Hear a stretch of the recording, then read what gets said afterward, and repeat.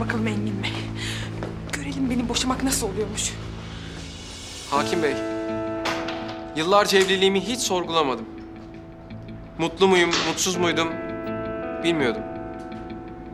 Geriye dönüp baktığımda maalesef karımı tanımadığımı fark ettim.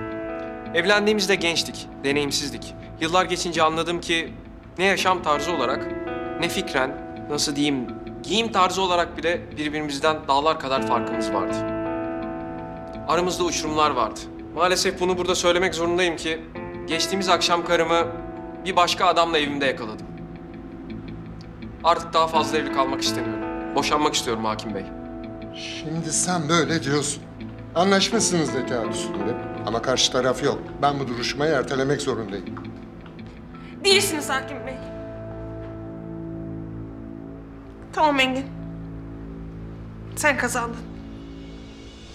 Senin istediğin olsun.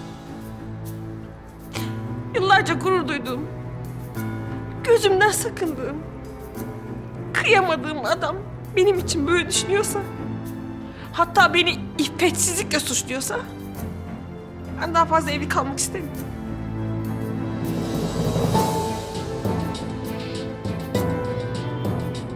Ben boşanmak istiyorum hakim bey. Boşayın bizi.